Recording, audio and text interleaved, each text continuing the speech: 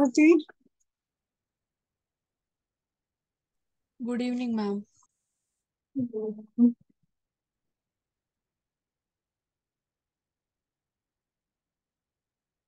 So, did you get the study material? You were able to do what I told you to do? Yes, ma'am. Yeah? Krishna? Revati? Both of you? Any doubts? No, ma'am. Hmm? You got all the questions correct? Or was there some doubt somewhere and then you got back to it? The answer of the tenth question. Um, so, I just share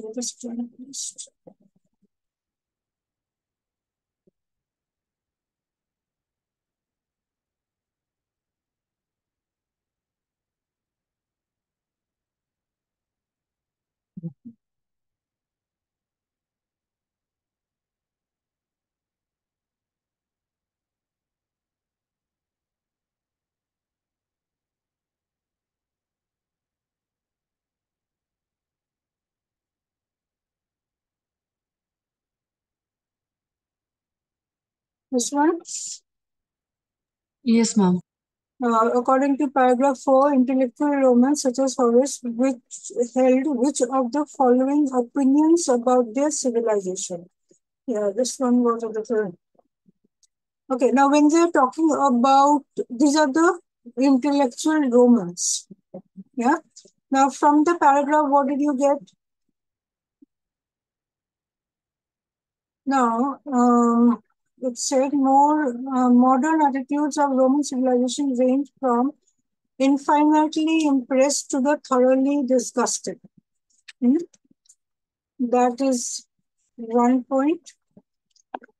Now, as always, there is a power of worshippers, especially among historians who are predisposed to admire whatever is strong, who feel more attracted to the might of Rome than to the subtlety of Greece. Yeah.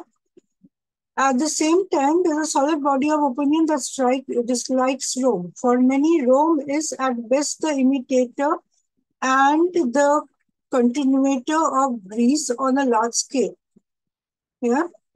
Uh, Greece civilization has quality, Rome mere quantity, Greece was original, Rome, etc. So it explains all this. So moreover, what, what impression are we getting?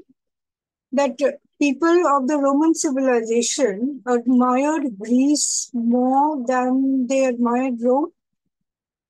Hmm? So, from here, what is the option that we come up with then?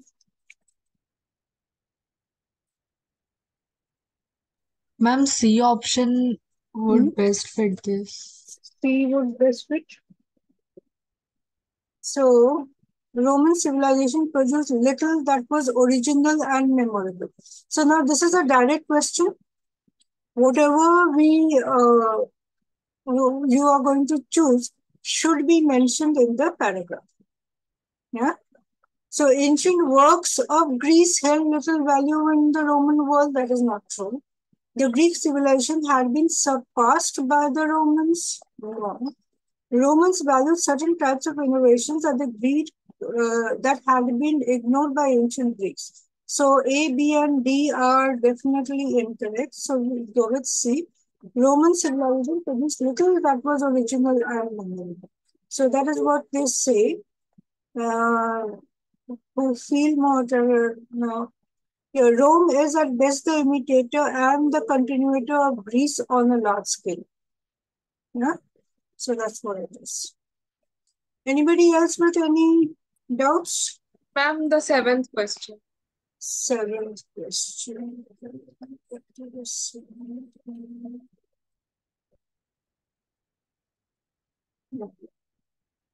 Uh, paragraph 3 suggests which of the following about the people of Latium. Hmm? So, where did they mention people of Latium? Now, Roman priorities lay in the organization, exploitation, and defense of their territory. In all probability, it was a fertile plain of Latium, where the Latins who founded Rome originated that create the habits and skills of the landed settlement, landed property, landed economy, landed administration, and a land-based society. Yeah. So now when they say suggest, what do you mean? What can you infer? Hmm? So from this, what can you infer? Uh, I was So, able to uh, eliminate C and D option. I'm confused between A and B. con confused between A and B. You eliminated C and D. Yes. Mhm. Okay, let's see. Uh, it says their economy was based on trade relations with other settlements. Uh, does it specific uh, say something like uh, trade relationships? They had landed settlement, landed property, and before that, they say it was a fertile plain. Right? Fertile plain, and then everything depended on the land. Landed administration, land-based society, but it doesn't. Do you uh, infer that they had trade relationships with other settlements? No, it's not mentioned. No, yeah. Uh, they held different values than the people of Rome. Does that is that what we infer from uh, the information given for Latin? No, right? So we can eliminate A and B. Now coming to C and D. Agriculture played a significant role in the society. That could be because it's talking about fertile plain and everything else uh, related to land. Uh, we'll keep that. We'll look at D. They possessed unusual knowledge of animal instincts. Uh, do we find that somewhere? No. No. Right? So the only option possible here is C. Yeah. So when you did this question, why did you think A and B would be the answer?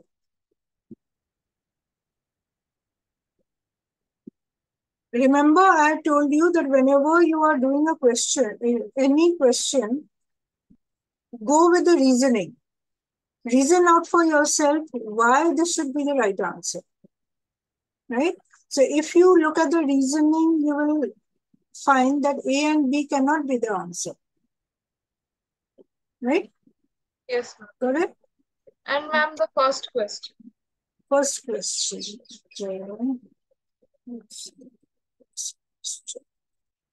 Um, highlighted sentence. Yeah. So, what does a highlighted sentence say?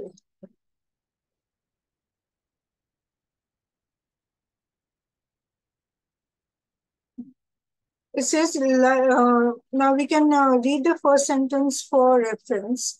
There is a quality of cohesiveness about the Roman world that applied neither to Greece nor perhaps to any other civilization, ancient or modern. Yeah, it's talking about, so that's the, you can say that's a reference point. It talks about cohesiveness. Now, like the stones of a Roman wall, which were held together both by regularity of the design and by that peculiar powerful Roman cement. Now, that doesn't, it's not literally cement, but it's talking about the culture and the values. So the various parts of the Roman realm were bonded into a massive monolithic entity by physical, organizational, and psychological controls. So if you paraphrase this sentence, what do you find? Arushi? Ma'am, I'm not sure, but I selected option D. Okay, first, uh, first you tell me, what did you, how would you paraphrase it? So what is the main idea of the sentence rather? Uh, that Rome was uh, Mhm. united through different con physical, organizational, and psychological controls. Yeah. So like it was bound together. Hmm? Yes. What bounded, uh, what kept it together? Uh, the massive monolithic entity by physical, organizational, and psychological controls. Yeah. So if we look at the options, now you said you chose D. Romans built walls to unite the various parts of the realm into a single entity, which was controlled by powerful lords. So this is talking about building walls, physical walls, and which kept it together and was controlled by powerful lords. So does it bring out the essence of the sentence in totality? No. No, it misses out on something. So any of so that means this option is not complete. Will you choose an option which is not complete? No. No, right? Now, if you look at the others, regularity and power of stone walls inspired Romans, we can eliminate them. Although the Romans used different types of design when building their walls, they used regular controls to maintain their realm. No. Even that is not true. Several types of control united the Roman realm, just as design and cement held Roman walls together. So, several types of control that Yes. it is talking about, and it helped together just as design and cement held Roman walls. So, there's an analogy. That analogy comes out in this option, and the several types of control is also mentioned. So it's not one specific or two specifics, but overall, the idea of the sentence is reflected. So your option will be C. Hmm? Correct? Anybody else with any doubts in this passage? Ayan, Yes, ma'am. Uh, did you do the passage? Any doubts? I did the passage. Question 10. Question 10. Oh, question 10 we just discussed. Anyway, we'll go back to it. Okay, uh, so. No, question 10 we did. According to paragraph 4, intellectual roaming such as had which of the following opinion? Okay, we just discussed this one, question 10. So, anybody will explain to Ayan? Revati? Can you explain to Ayan the answer to this question? Yes, ma'am. Ma uh, in paragraph 4, it is stated that intellectuals uh, hold a greater opi uh, greater opinion for Greece than Romans. Uh, the um, third line, I guess, in the book, uh, it is uh, written who, uh, feel more attracted to the might of Rome than to the subtlety of Greece. Uh, and uh, they also um at um no, ma'am, actually it should be the next The point. next one, yeah. Yeah. Uh, For many, Rome is at best the imitator and the continuator. So uh, They now, held a greater opinion for yeah, Greek than Rome. So uh, they uh, compared Rome and Greek like Rome was quantity and Greek was quality. Rome was derivative and Greek was original. So when we look at the options, option A says ancient works of Greece had little value in the Roman world. Uh, that's that holds Greece inferior to Roman world, so that is wrong. Uh, then the Greek civilization had been surpassed by the Romans. That uh, this uh, option also is, is similar to A. Then uh, option C says Roman civilization produced little that was original and memorable. Um, this option is best because it is also stated in the paragraph that Greece was original and Rome was derivative. So C is uh, is the answer. right. And D, Rome valued certain types of innovations that had been ignored by ancient Greece, and that does it, it is not relevant to the uh, paragraph. Thank you. Thank you, Revati. Well explained. So, Ayan, have you got your answer? Yes, ma'am. Okay. Okay, sir. How about you? Um, no doubt. No doubts? Okay, Yeah. great. So, I think we can do another passage today. Hmm? So, we will take Okay. So, before we go on to another passage, we'll just about go into a recap of all our strategies. Hmm? So, Now, when we are dealing with questions or even options, what do you do? First thing is understand the question. Yeah. So, best thing is to paraphrase it in a simple manner. Then uh, you find the keywords. That is important.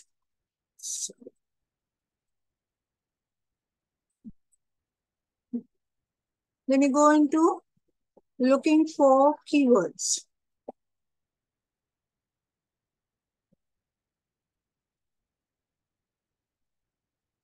Keywords in the options help you to eliminate the options. Hmm? It becomes easier. Scan the passage for keywords also. And then you try to get the answer. Yeah.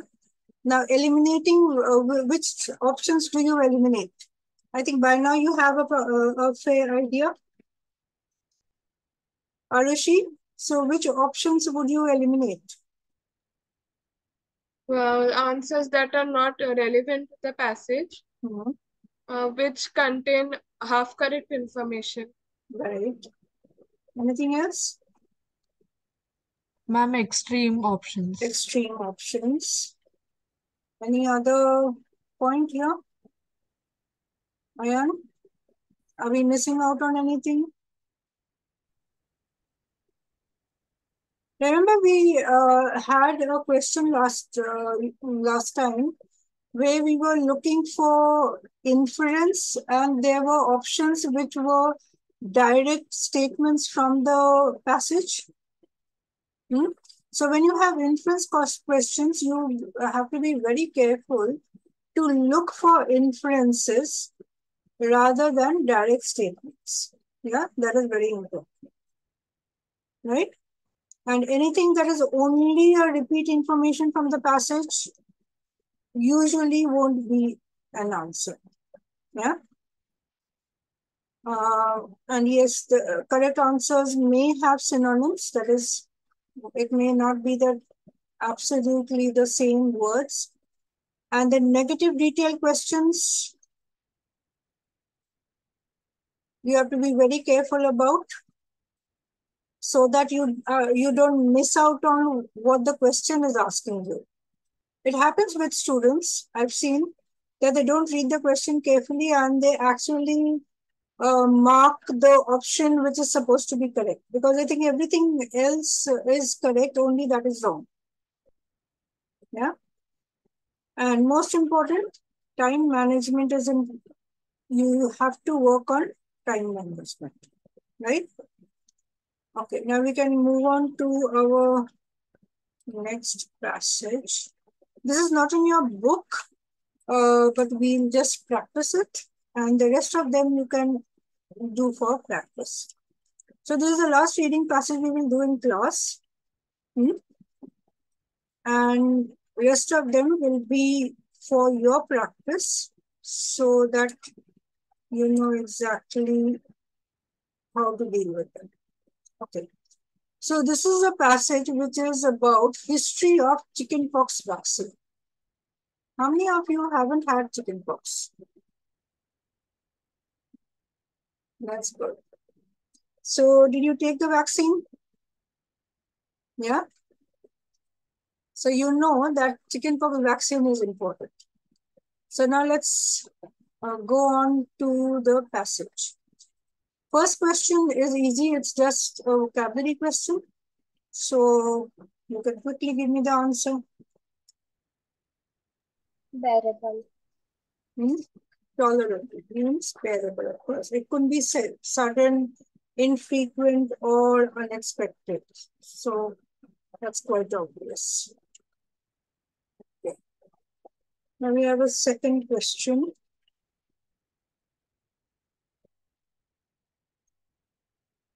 According to paragraph 1, which of the following is true of the chickenpox virus? So we have to actually read the paragraph, otherwise we won't be able to answer the question. So somebody wants to volunteer? Hmm? Who wants to volunteer? Yes, please. Yes, ma'am. Yes, Krishna. Uh, chickenpox is a highly contagious infectious disease caused by the varicella zoster virus. Sufferers develop a fleeting itchy rash that can spread throughout the body.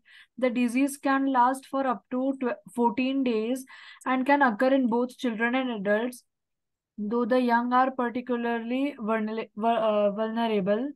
Individuals affected with chickenpox can expect to experience a high but tolerable level of discomfort and a fever as the disease works its way through the system. The ailment was once considered to be a rite of passage by parents in the US and thought to provide children with greater and improved immunity to other forms of sickness later in life. This view, however, was altered after additional research by scientists demonstrated unexpected dangers associated with the virus. Over time, the fruits of this research have transformed attitudes toward the disease and, and the utility of seeking preemptive measures against it. So what are the points we get in the passage?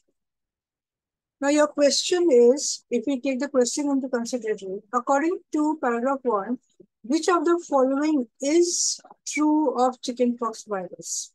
So the others will not be true. Yeah. So which one, which ones can we eliminate? A. A and B, A, Hmm. B. A, B, C, and B. A, B, C, and D? How come? Not C. Not C. Hmm? Ma'am, C is the correct one. Yeah. Let's look at the points of the passage now. Chickenpox is highly contagious, infectious disease. Yeah. Caused by the varicella virus, sufferers develop fleeting itchy rash can spread throughout the body. Disease can uh, last up to 14 days, can occur in both children and adults, though young are particularly vulnerable.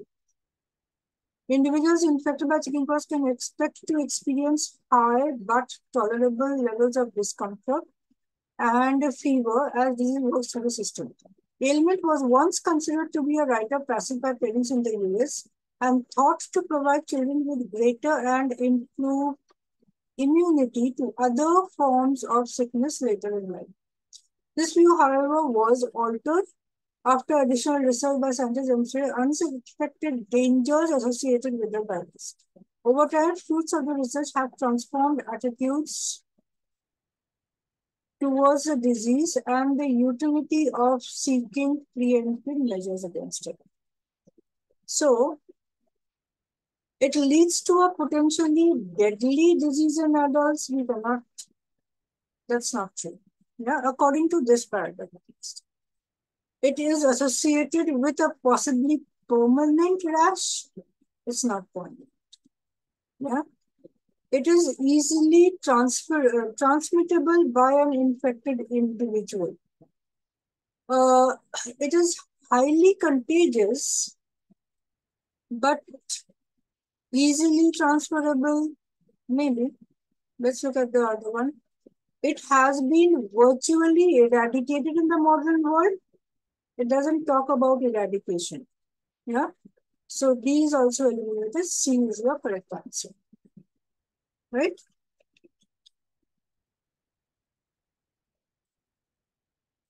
Okay, let's move on to the next.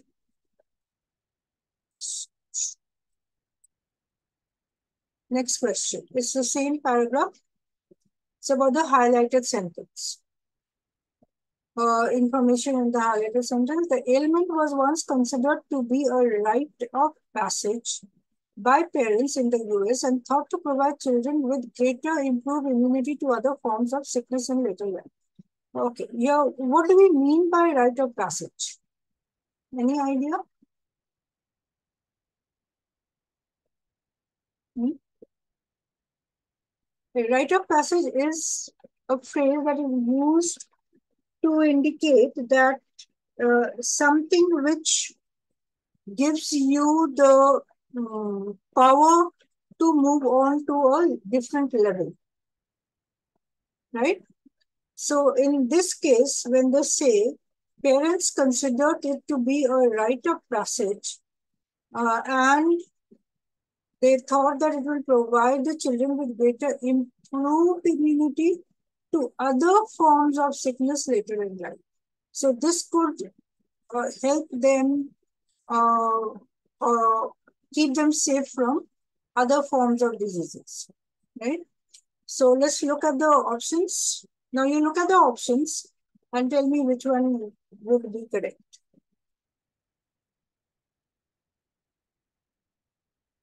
Ma'am, B. Hmm? B. B or B? B. B. Are you s- sorry? Are you sure about B? Ma'am, second option. B, second option. Ma'am, A. A. Okay, and you look at A also. Hmm? Revati, you were saying something? Ayan, what do you think? Ma'am, I think E. Hmm? I can't hear you clearly. E. E. A. Okay. So, anyone with any other option? Hmm? Kesar, what, Kesar, what was your answer? A. A. Krishna? Ma'am, ma'am, B. B. Okay, so let's look at the options. We have A and B as our options. So A says US parents believe that having chicken pox benefited their children. Quite possibly. Hmm? Let's see if we have something more specific. Now, benefited their children, it says, but it isn't really specific. US parents believe that chickenpox led to immunity against most sickness. Against immunity against most sickness. Now, this is a little more specific, right? But does it say the same thing? Uh, greater immunity and uh, greater and improved immunity to other forms of sickness later in life.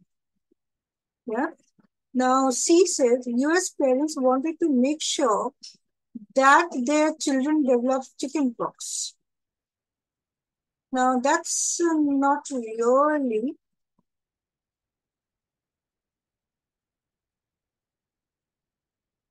The ailment was once considered to be the rite of passage by parents in the US and thought to provide children with greater immunity.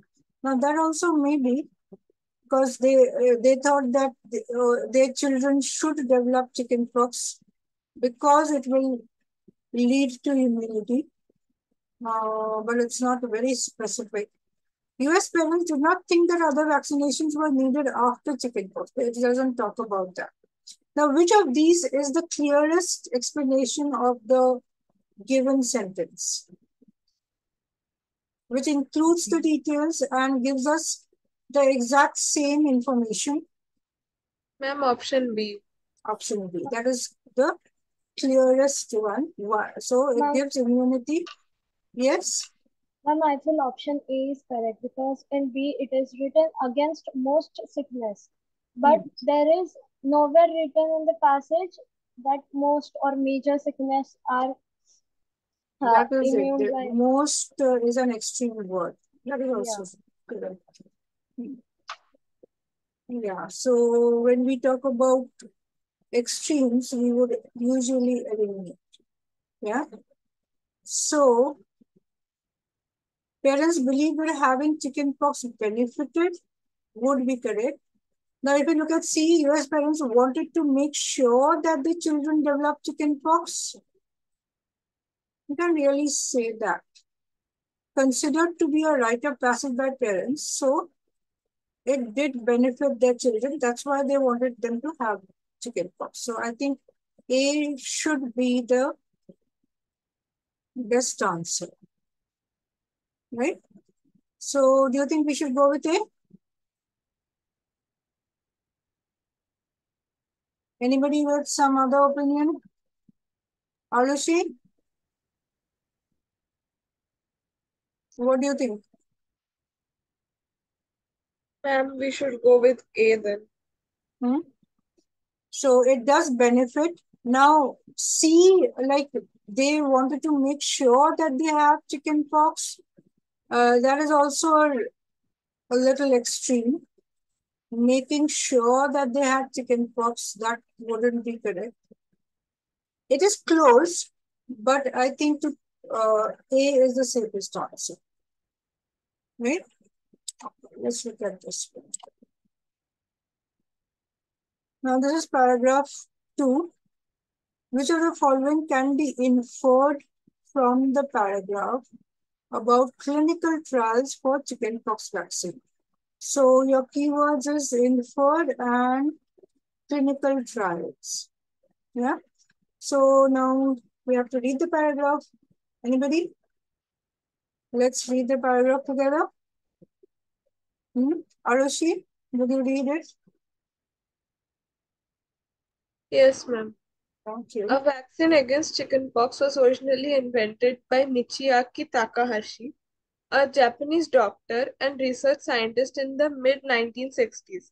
Dr. Takahashi began his work to isolate and grow the virus in 1965 and in 1972 began clinical trials with a live but weakened form of the virus that caused human body to create antibodies. Japan and several other countries spread, began widespread chickenpox vaccination programs in 1974. However, it took over 20 years for the chickenpox vaccine to be approved by the US Food and Drug Administration, finally earning the US government seal of approval for widespread use in 1995. Yet, even though the chickenpox vaccine was available, and recommended by the FDA, parents did not immediately choose to vaccinate the children against this disease. Mothers and fathers typically cited the notion that chickenpox did not constitute a serious enough disease against which a person needed to be vaccinated. So now another thing that um, needs to be pointed out when you are reading, take note of any contrast words. Any words that create a contrast, like however, yet, yeah. So those those help you help you to go into the key points. So here in the big in the first part, it talks about Dr.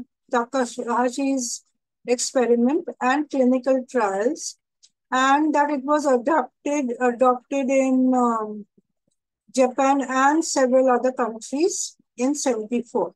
Now here we have a contrast that it took 20 years to be approved by US uh, FDA and it came into use in 1995.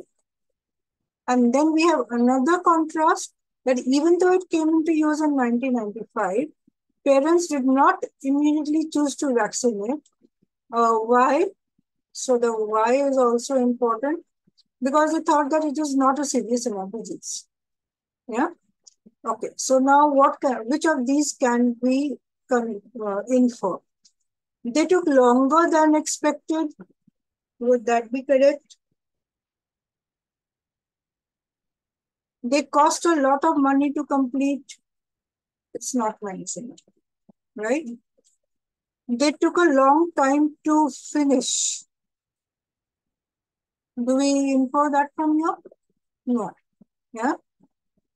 And they they took a long time to uh, than expected. It is about a chickenpox vaccine. Can we infer that the production of the chickenpox vaccine itself took a long time? Not really. So we have eliminated A, B, and C. What are we left with? They were ultimately successful. Yeah. So that, yes, we can figure out that uh, the clinical trials took place in Japan, then 20 years passed, and then finally US approved. Yeah. And uh, vaccine was available and recommended.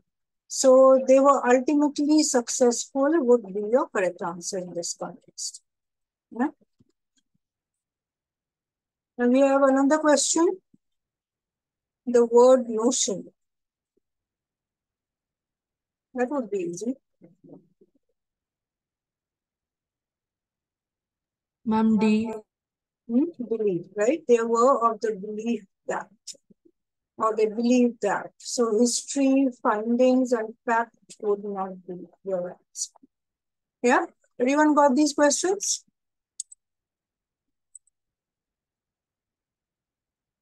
Now let's look at this one. This is paragraph number three. Now we have to read again. Who wants to read? Hmm? Somebody who hasn't read as yet. Yes, sir? How about you? Yes, ma'am. Thank you. Strong belief in that view eroded when scientists discovered the link between varicella zoster, the virus that causes chickenpox, and shingles, a far more serious, harmful, and longer lasting disease in older adults that impacts the nervous system. They reached the conclusion that varicella zoster remains dormant inside the body, making it significantly more like for, likely for someone to develop shingles. As a result, the medical community in the US encouraged the development, adoption, and use of a vaccine against chickenpox to the public. Although the appearance of chickenpox and shingles within one person can be many years apart, generally many decades, the increased risk in developing shingles as a younger adult 30 to 40 year old rather than 60 to 70 year, years old proved to be enough to convince the medical community that immunization should be preferred to the traditional alternatives. So what is this paragraph talking about? What is the main idea of the paragraph? Krishna? Ma'am, uh, we can infer that uh, the virus varicella zoster can also uh, cause shingles Mhm. uh, because it, uh, it remains dormant inside the body and uh, after many years or, uh, or or or decades it can uh, result in uh, shingles and it is more uh, I think It's- risk is more uh, among the adults uh, which are uh, between 30 to 40 years than the older the people. Uh, increased risk in developing shingles as a younger adult. Okay, so now what after that? Here's another point that this was uh, enough to convince medical community that immunization should be preferred. Yeah. Okay. So now, according to the paragraph, which of the following is true of the varicella zoster? So which ones would be true? It attacks adults who are over 60 years. No, it can be 30 to 40 also. It is linked to a serious disease that occurs more commonly in adults. Yeah, that we can say. It is likely not a serious enough threat to human health to require a vaccine. No. It is completely eradicated from the body after chickenpox occurs. That's also not true. So our only possible option is B. So elimination helps you to get to the answer. Okay, now here we have one which says except. According to paragraph 3, which all of the following is true except. So which one of which one of these is not true? Now look at the two questions. They uh, put the questions uh, one after the others to confuse you a little. But in the first one, uh, it wasn't which one of these is true. Now suddenly the next question they ask, what is not true? So if you're not careful, you will go and choose what is true. You will be looking for what is true. Yeah? Okay. So what is not true? What will be the answer be?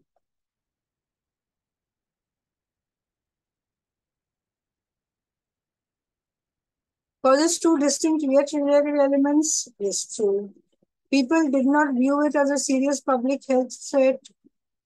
That is also true. People did not do it. Medical uh, fraternity did. It tended to quickly become dormant and remain inoperative over time. Hmm? Can we say that? Vaccination against it would help prevent the onset of shingles. Now, vaccination against it would help. So, immunization is preferred. Yeah, that is also true. So, which one is not true? Ma'am, I think it should be C because in the paragraph it is said Hmm. that varicella zoster remains dormant inside the body, making it significantly significantly more likely for someone to develop shingles. So Yeah. It So it remains inoperative. inoperative over time.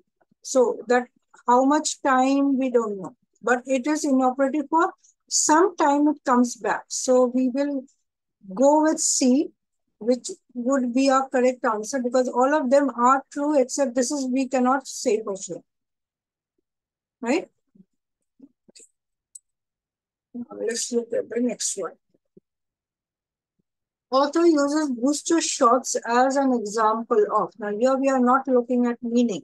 Anything that is highlighted, we are not always looking at meaning.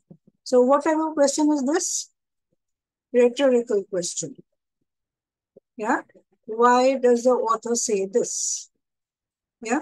So again, we have to read the passage. Anyone wants to read the passage? Ayan, Okay, ma'am. Thank you. Another, another reason that the chickenpox vaccine was not Mm, Ayan, can your voice be a little louder? Or you could be closer, something.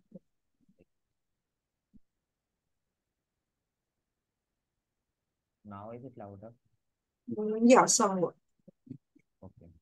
Another reason that the chickenpox vaccine was not immediately accepted and used by parents in the US centered on observations made by scientists that the vaccine simply did not last long enough, and did not confer a lifetime of immunity.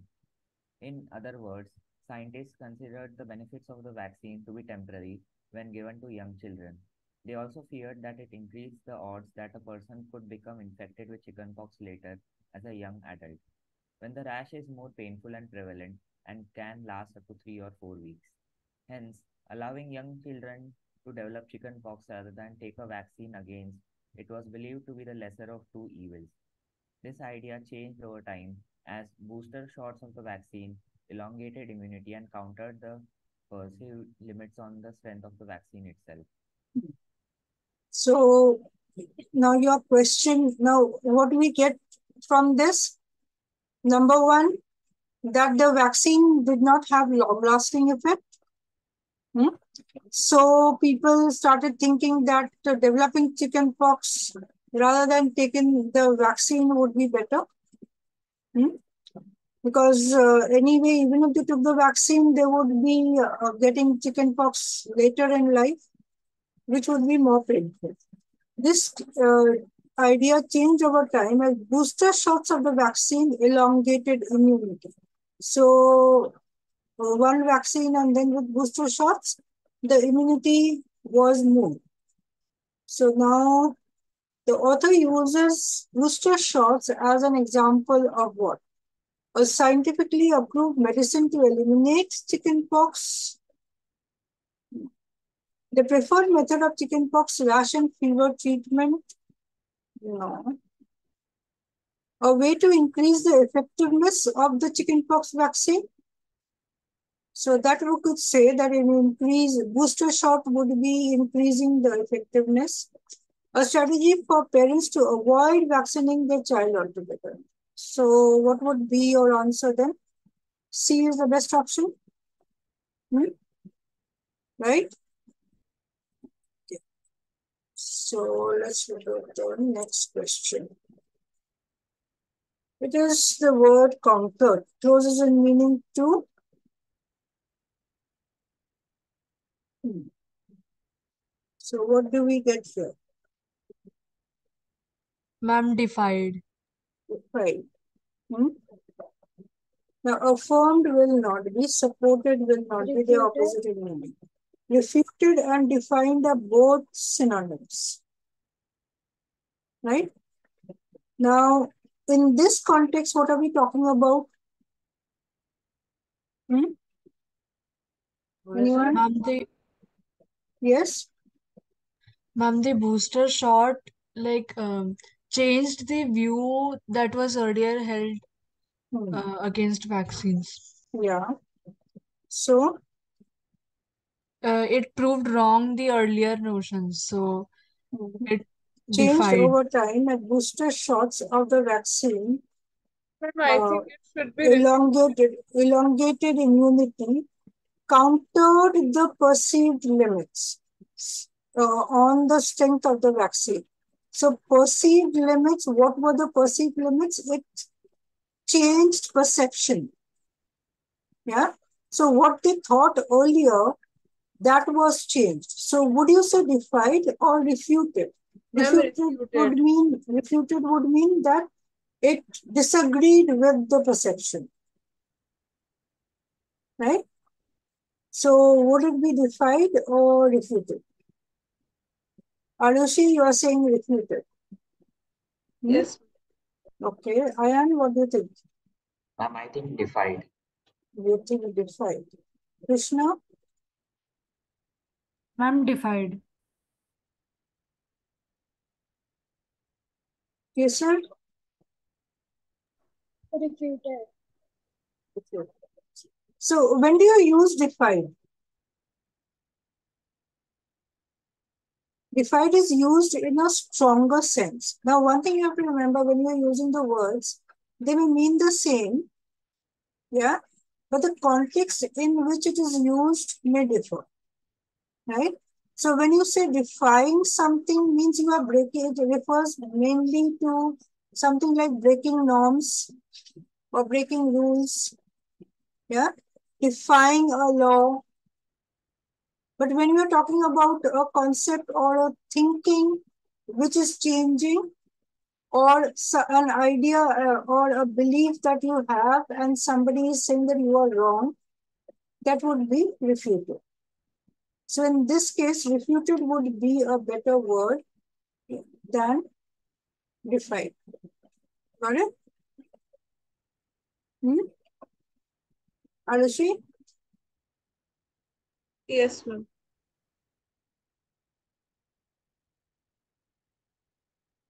Now this is paragraph number four. Anyone wants to read? Hmm? No one wants to read. Okay. So do you want me to read? Another reason that the chickenpox vaccine was not immediately accepted and used by parents in the US centered on observations made by scientists that the vaccine simply did not last long enough and did not confer lifetime immunity. Okay, it's the same paragraph, no? Yeah, so we already read it. Uh, no. So now was a question. According to paragraph four, many parents did not choose the chickenpox pox vaccine because. So this is a direct question. Hmm? Why did they not choose the chickenpox vaccine? So the paragraph says that uh, initially the scientists said that it was temporary and uh, it wasn't effective enough. So they believed that the virus was weak and not specially harmful. Was that the reason? No.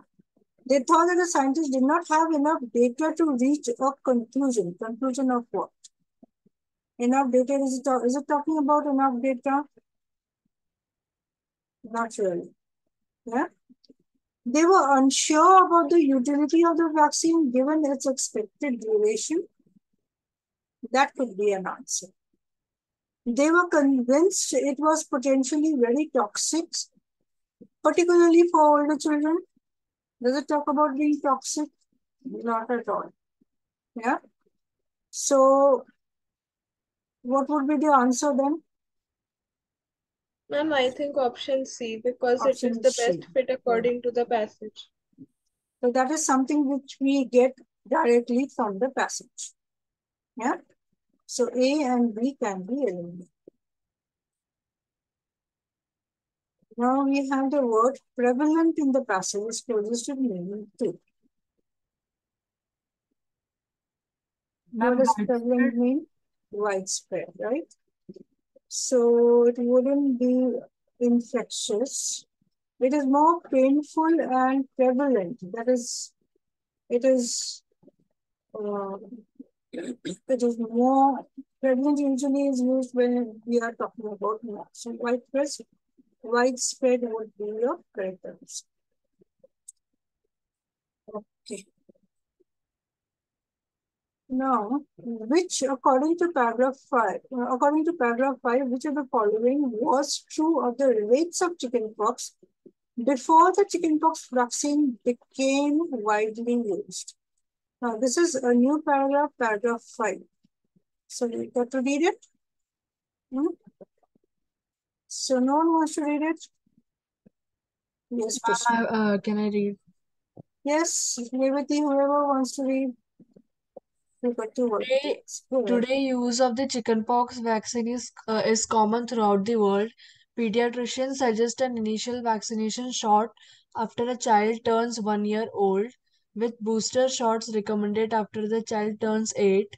The vaccine is estimated to be up to 90% effective and has reduced worldwide cases of chickenpox infection to 4, 4 lakh cases per year from over 4 million cases before vaccination became widespread. A. In light of such statistics, most doctors insist that the potential risk of developing shingles outweigh the benefits of avoiding rare complications associated with inoculations. B. Of, of course, many parents continue to think of the disease as an innocuous ailment, refusing to take preemptive steps against it. C, as increasing numbers of students are vaccinated and the virus becomes increasingly rarer, however, even this trend among parents has failed to halt the decline of chickenpox among the most vulnerable populations.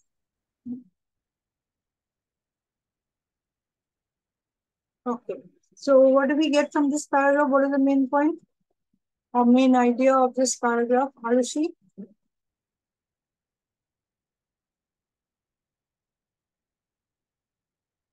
That it has reduced cases of uh, chickenpox Mhm. after the vaccination was taken. Right. And it outweighs the risks of inoculation, but some parents are still not convinced. Yeah. So question number 12 is there. You can give me the answer to 12 now. Ma'am, C. Said A. C. A and C. Okay, ma'am, can I change my option? Hmm. What do you Um, think? it, uh, ma'am, I think it should be A. It should be A. Hmm. Now your question is, according to paragraph 5, which of the following was true of the rates of chicken chickenpox before the chickenpox vaccine became widely used? Yeah, just uh, your keyword here is before. So before the vaccine came, came in, the rates were, now after the vaccine, it was 4 lakh. Before it was 4 million. So how many times? It was 10 times higher. Yeah. It was consistently rising before, we can't say that. It declined over time, but that doesn't take into consideration the rates before. Fluctuated over several decades? No. So it's only A that is correct. Ayan, do you agree? Yes, ma'am. Okay, so now I think we come to, yeah. So this is your sentence placement question. So I'm not giving, giving you the answer to this. You will give me the answer and explain.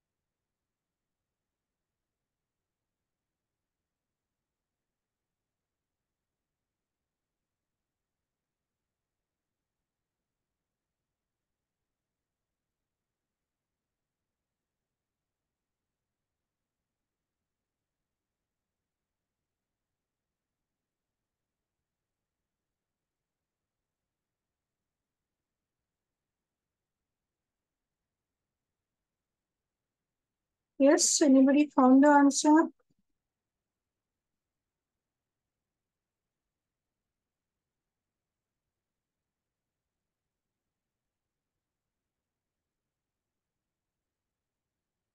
What is the keyword in the sentence that you are going to put in? Which will determine where it should be should go. Now the word some. Remember last time we said we had they or these.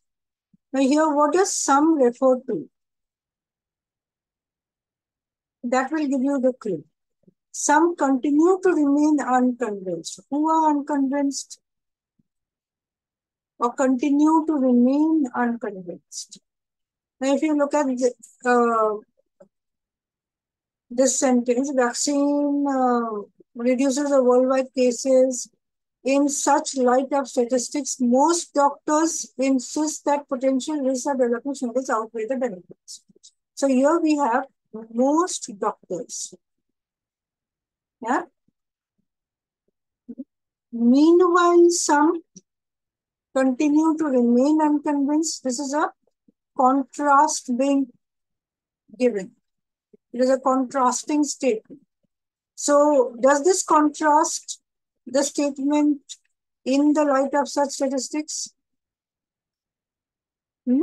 Or does it contrast? Of course, many pa parents continue to think. What does it contrast? So both, both these have can refer to some. Parents can refer to some, doctors can refer to some. Right? But what is a contrasting idea?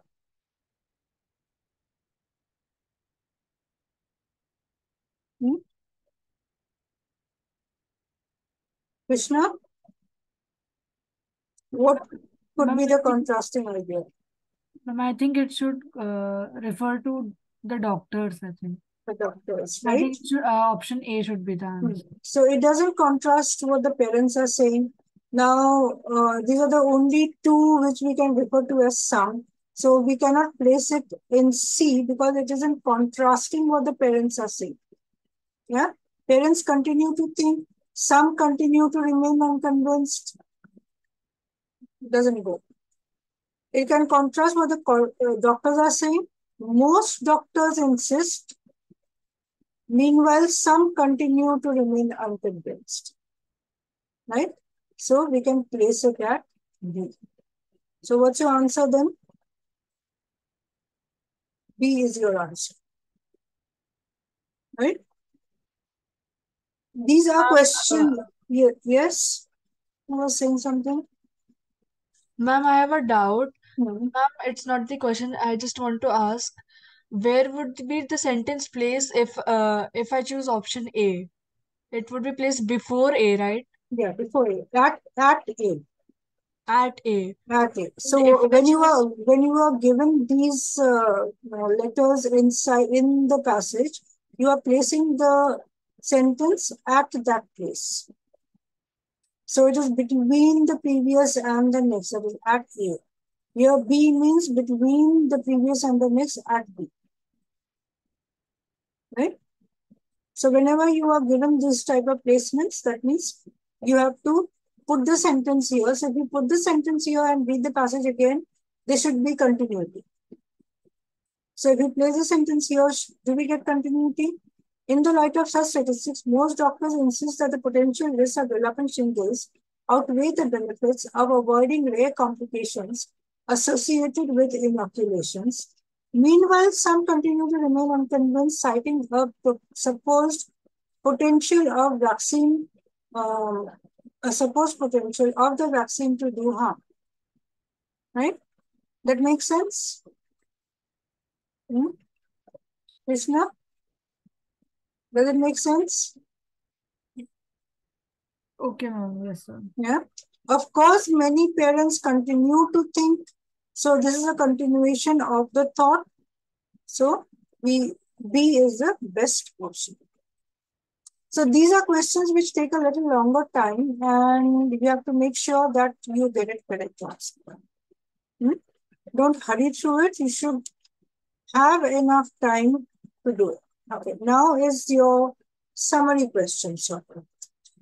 Complete the table below by indicating which statements describe chicken pox and which describe shingles. So this should be easy. We have to just segregate the statements into chicken pox and shingles. So they've given us two and three. This question is worth three points. So you have to get all the options correct to get three points. If you get two correct and two wrong, you don't get three points. Yeah. So you have seven options. Of the seven options, you will be eliminating two.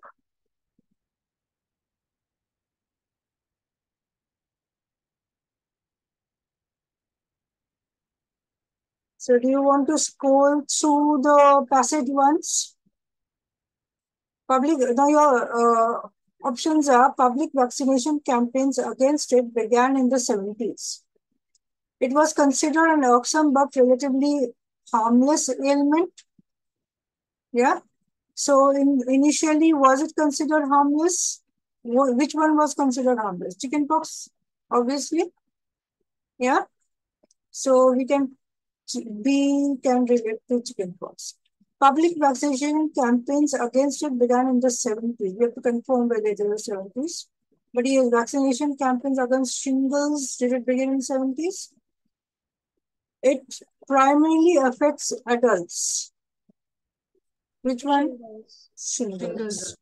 So D, we don't eliminate D, goes to shingles. It is a serious lingering illness. Hmm? C refers to shingles, not D. Oh, sorry. Now, it is a serious lingering illness. Which one is it talking about? Any of them are, does the passage talk about lingering illness? Which one is lingering? Ma'am, shingles. Shingles. Linger, remember it said dormant? Hmm? Which would be the same as lingering. So it lingers in your body and comes, wakes up when you are in a So D could be referring to shingles. Uh, it negatively affects the nervous system. What affects the nervous system? Shingles. Infection primarily occurs as a result of close contact with infected rashes. Now, rashes were about chickenpox. Chickenpox. There is a confusion as to exactly what virus causes it. Is there a confusion? We can eliminate G. Yeah. So public vaccination campaigns against it began in the 70s. Do we have that?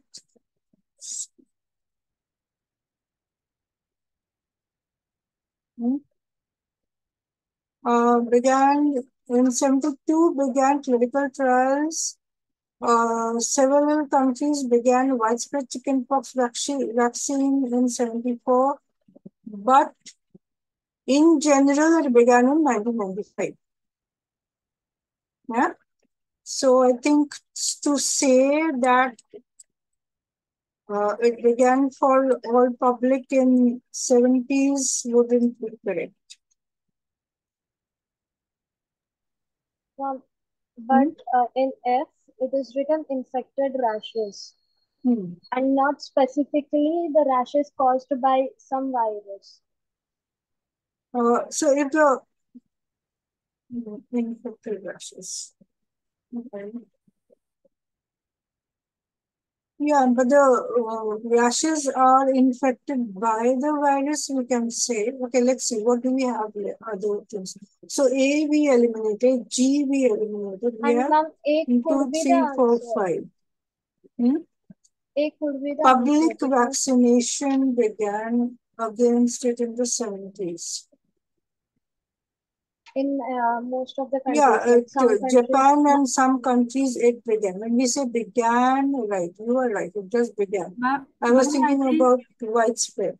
Ma'am, the Yeah. ma'am, I think uh, the campaigns began in 1995 because it was approved 20 years later, Hmm. after 20 years of uh, No, we we can look at it in two ways. So, so we can say now it says it began in the 70s would be true because it began in Japan and other countries in the 70s.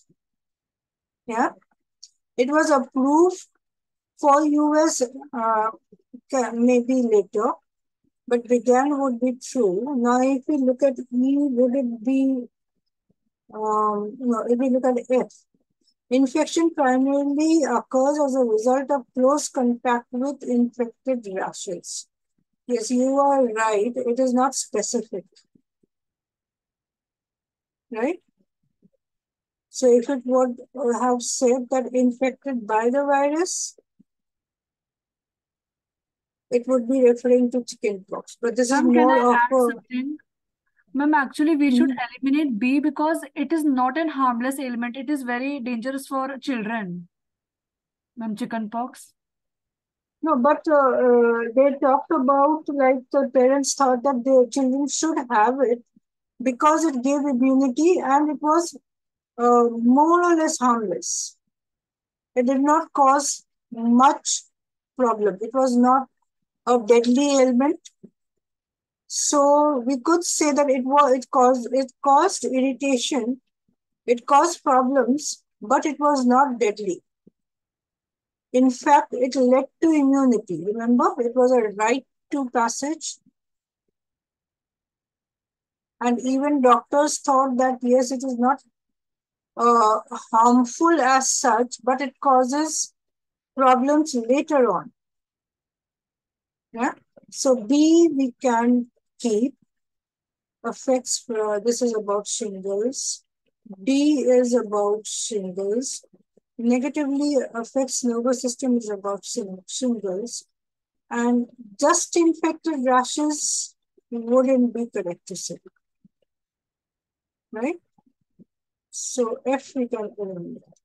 So we can have uh, A and B referring to chickenpox, C, D, and E referring to shingles. Right? So some of the uh, options they will give you would be a little confusing or very close, but may not be very specific, so we can eliminate. Yeah. So here, if we look at A, what why did we keep it? Because it said began. That was our keyword. Right? So if it if it said that public vaccination campaigns against it uh, was widespread in the 70s, it would have been wrong. But began in the 70s is correct. Okay. Let's see if it has any other questions.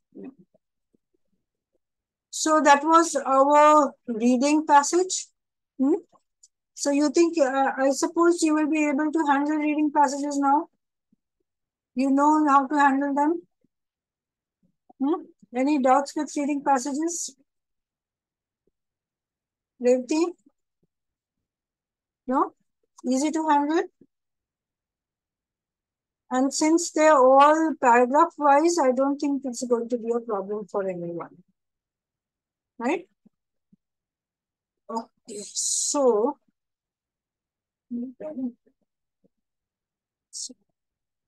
So I think we will move on to our listening section. Hmm? What do you think?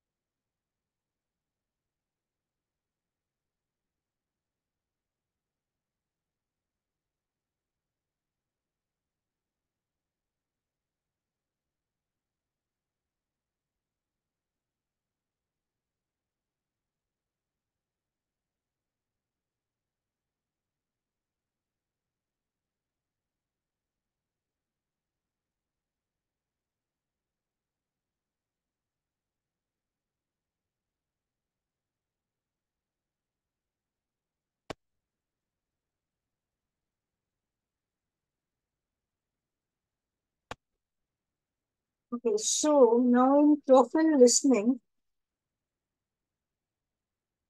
now you people listen to a lot of things, some lectures from your teachers, on YouTube, lots of things, Instagram also lots of things, hmm? TED Talks, whole lot of things you listen to and you can comprehend also very well. Yeah. Now,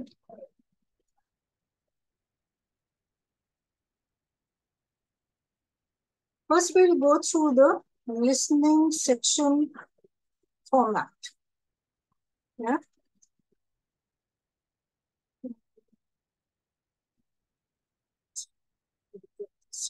Okay, so this is an old one. Sorry, I've got the unedited version. Doesn't matter.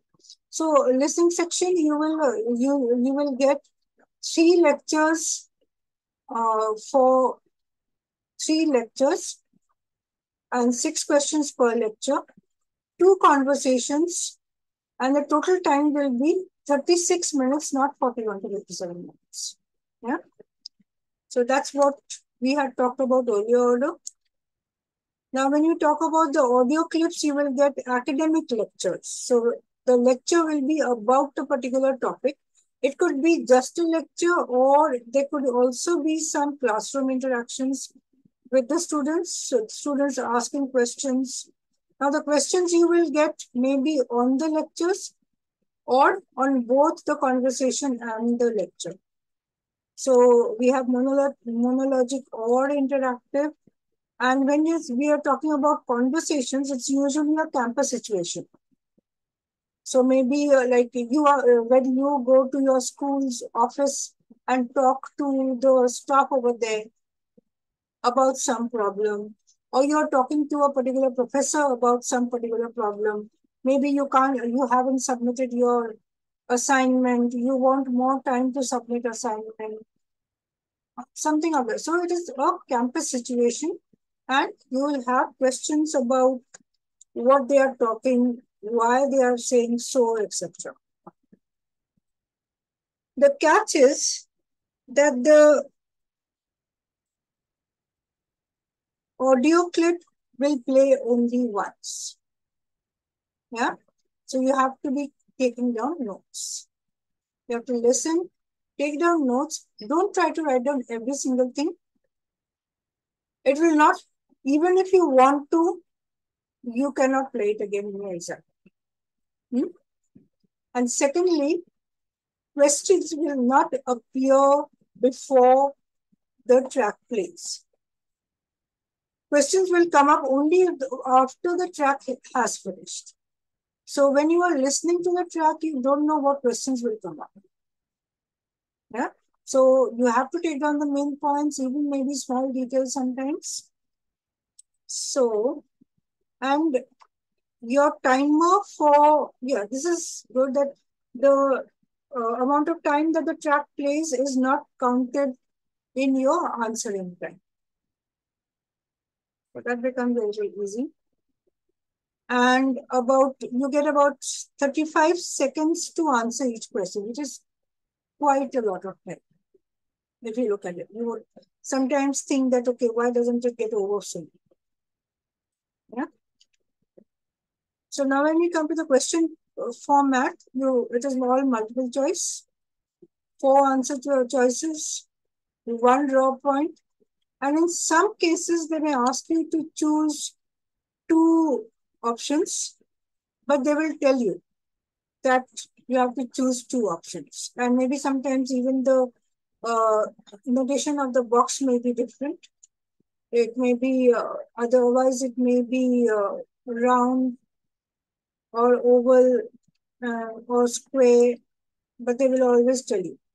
But even if you have told to choose two options, it is still one raw point. It's not two points. And unless you get both of them correct, you don't get the point. Yeah, similar to the reading one. Unless you get all your options correct, you don't get the credit. So there's no partial trigger. Now, there are also questions which uh, are like put the steps in order or match the uh, objects in the text. Hmm? So matching you have done earlier when you were in school, maybe even in the 10th. And there will be at least one or maybe two replay questions where they will play only a part of the clip. And sometimes the question is also in that clip. Or maybe the question is written down. Usually it is in the clip. And the question will be related to that particular part of the clip. But you will get four options for that. So that is also one raw point. Okay.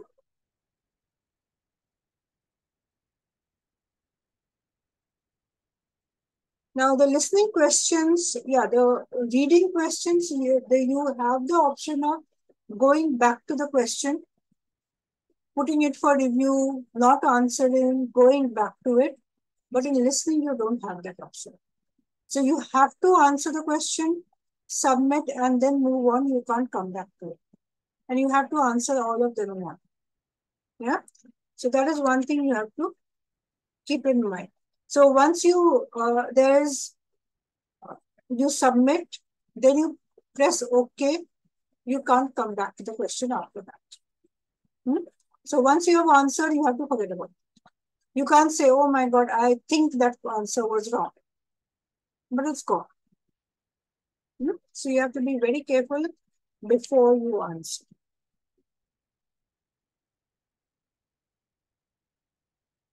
Now, what are, the, what are they testing you on this? Of course, your basic comprehension, how you understand the topic or even the subtopics, how you synthesize information. So when you are analyzing, sometimes you, you and the question also will be either direct questions or inference questions or even rhetorical questions.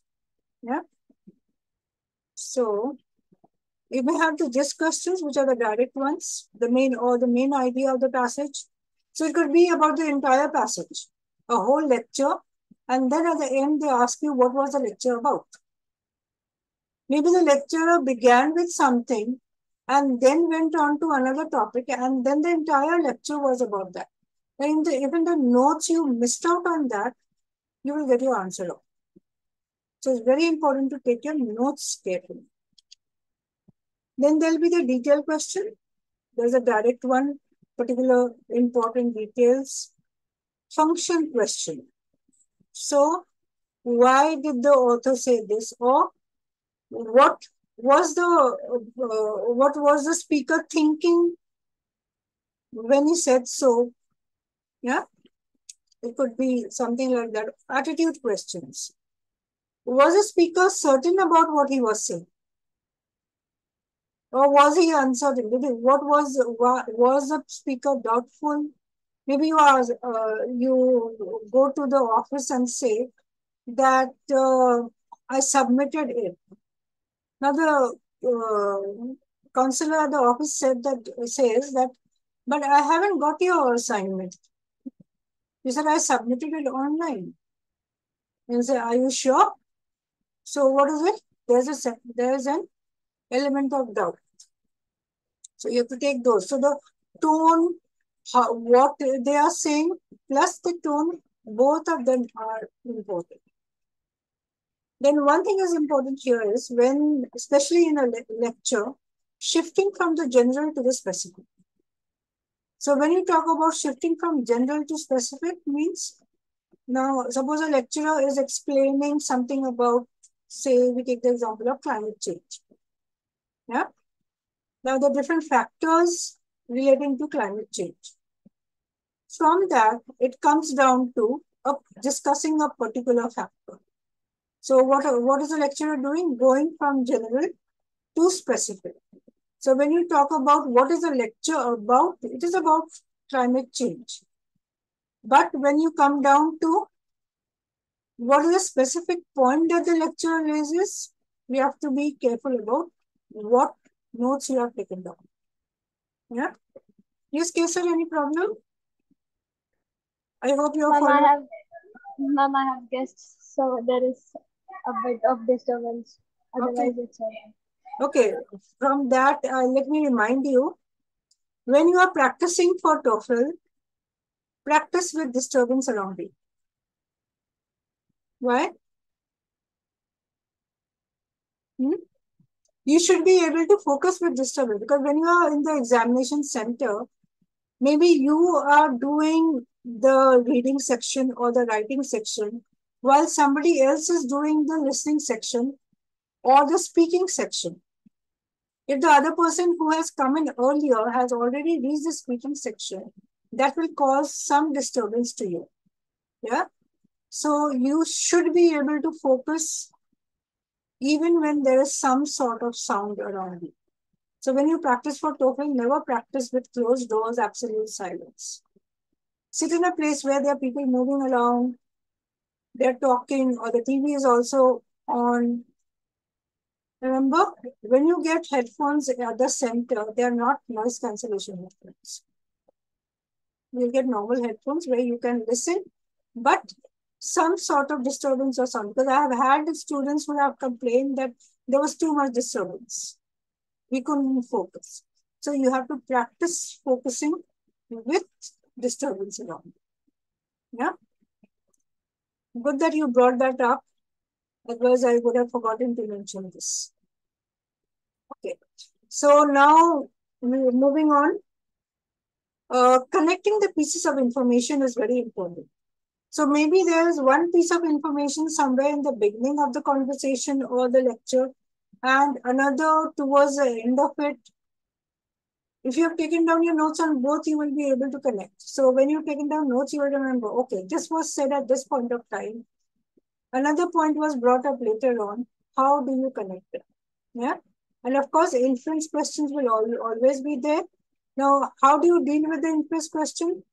Of course, the uh, language, intonation, all these will help you to infer about a person's attitude, a person's stance for something, maybe something, somebody is confident about saying something. So how that person says it will be important. Yeah. So again, we have to strategize what we are doing. So listening strategies, take notes. Very important. Yeah. Now taking uh, now taking notes and listening to something is crucial not only to the listening comprehension, but also in your speaking section and writing section. So practicing this particular skill will be crucial to get scores in all the sections apart from reading. Okay. So, this I already told you that you don't hear the recording again. So now when you, what do you take down? That is important. Do you take down every single word spoken? You can't. If you start take down, now in a lecture, especially when there's a whole lot of information, you can't take down every single sentence. So what do you uh, focus on? Main ideas, keywords. If you've written the keyword, now you have listened, you listen to a lecture and the questions come up immediately after that. Yeah. So even you, uh, at least something you remember. But if you don't take down notes, you will miss out on those points. Hmm? Don't depend solely on your memory. But at the same time, don't take down every single sentence or every single word from the lecture. Maybe you are writing down an entire sentence. By the time you finish the sentence, two other points have already been mentioned by the lecturer. So it's no use taking down an entire sentence. So you focus on the keywords and uh, you just when you are writing maybe a phrase from the sentence when you take down, when you go back to the questions, you can recall the rest of the information. Hmm? So depend on your memory plus your notes. Now, when you are taking down the notes, one thing you have to remember is nobody else is going to read your notes. What you take down, only you have to understand. Whether you take down in Chinese, Japanese, Greek, doesn't matter. Whether somebody else can understand your handwriting or not doesn't matter. As long as you can understand what you are written. If you know shorthand, you can use abbreviations, symbols, as long as you understand. Right? So taking down those notes, if you practice, would be very, very helpful. Now, nowadays, I don't think anybody knows shorthand. Earlier, stenographers used to learn shorthand. Now, that's not required, so we don't learn. Typing and shorthand, we usually don't learn. So, what do you, now when I said don't take down everything, what do you focus on? Important points. But while you are listening, how do you know it is important? Transition words. Right? Now, suppose a lecturer is talking about a certain point and she says, now let us talk about. Now let us talk about tells you that something more important is coming up. Yeah. If the lecture says, however, that means some contrasting point is coming up. Right? Therefore, means some reason is coming up. Or because, so all these transition words are, now transition words you have done in SAT also, you know what transition words are. Hmm? So any of those transition words coming up, you know you have to focus on it.